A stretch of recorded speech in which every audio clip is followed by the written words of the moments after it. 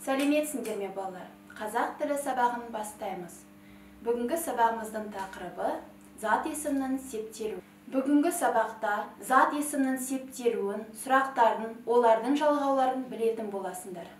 Балалар барлығымыз суретке мұқият қарайық. Табиғат құбылысы дегенді әрқайсымыз естігенбіз. Бүгінгі сабақта оған нелер жататынын туралы еске түсірейік. Бұлт найзағай жаңбыр қар жел бұның барлығы табиғаттың таңғажайып құбылыстары. Ал енді балалар мәтінді түсініп оқиық. Табиғаттағы өзгерістің барлығы табиғат құбылыстары деп аталады.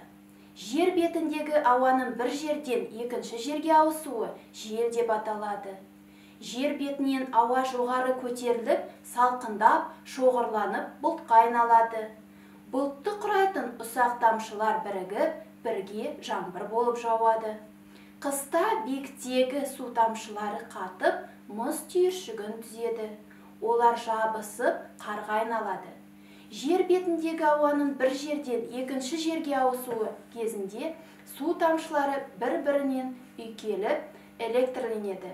Оң және теріс зарядтар бір бұлт пен екінші бұлттың арасына бұлт пен жердің арасына таралады. Жер бетінде электр ағыны пайда болады.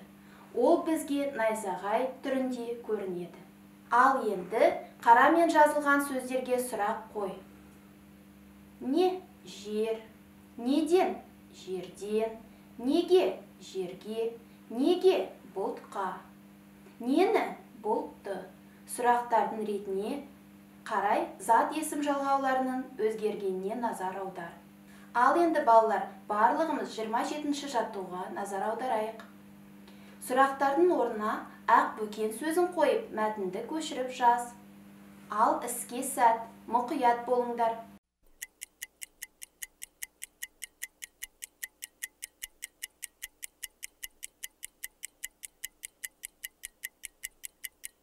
Жазып болсақ балалар жауабымызды тексерейік.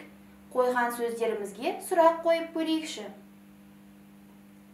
не ақбөкен нені ақбөкенді ненің ақбөкеннің дұрыс балалар. Ақбөкен сөзіне жалғанған жалғаулардың астын сызыңдар олардың өзгерісін байқаңдар. Сөйлемдегі сөздердің бір-бірімен байланыстыру үшін жалғанатын жалғауларды септік жалғаулары деп аталады. Қазақ тілінде жеті септік бар. Атау ілік барыс табыс жатыс шығыс көмектес. Зат есімнің септік жалғаулары арқылы өзгеруін зат есімнің септелуі дейді. Балалар зат есімнің септіктерін сұрақтарын жалғауларын жаттап алып есте сақтаңдар. Бірінші бағанға қараймыз. Септіктердің аты. Атау септік. Сұрақтары кім не?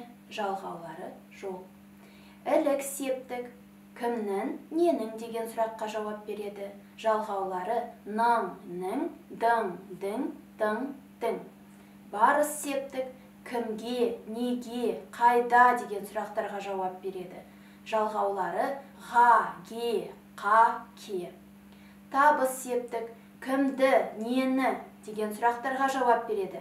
Н н д д т жалғаулары. Жатыс септік. Кімде неде деген сұрақтарға жауап береді? Жалғаулары да де та те.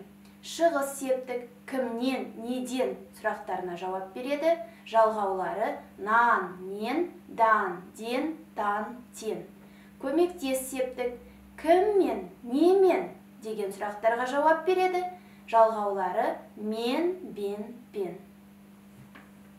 ал енді 29-шы жаттығуға қарайық. Жоғарыдағы кестеге сүйеніп адам табиғат сөздерін септеп жазып көріңдер.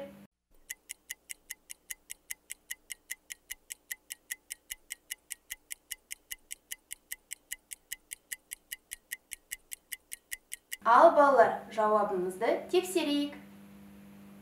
Адам табиғат атау септік.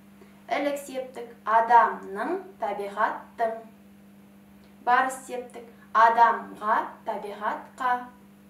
Табыс септік адамды табиғатты. Жатыс септік адамда табиғатта. Шығыс септік адамнан табиғаттан. Көмектес септік адам мен табиғатпен. Балалар берілген сөздер қатарынан артық сөзді тап. Қатарда қай сөз артық? Ал балалар іске сәт мұқият болыңдар.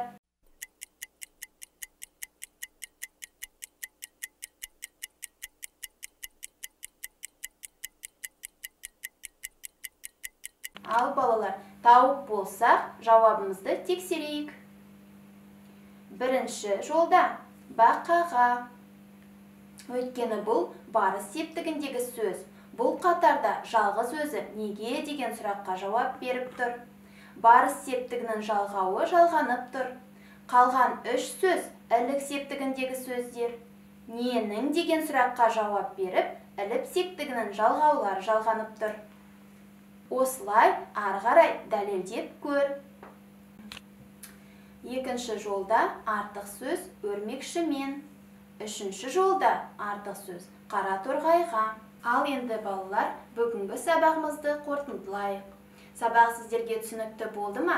Кәне өзімізді бағалап жіберейік. Балалар бүгінгі сабақта зат есімнің септелуін сұрақтарын жалғауларын үйрендіңдер. Осымен қазақ тілі сабағымыз аяқталды. Сау болыңдар балалар.